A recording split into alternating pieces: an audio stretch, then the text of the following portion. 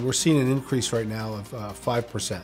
So the market sales price for homes is up 5%. Your house is 5% more valuable theoretically than it was a year ago.